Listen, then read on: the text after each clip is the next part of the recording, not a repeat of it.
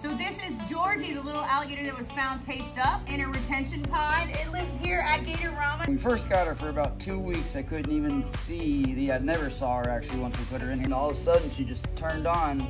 Georgie, hey girl, you loving it here?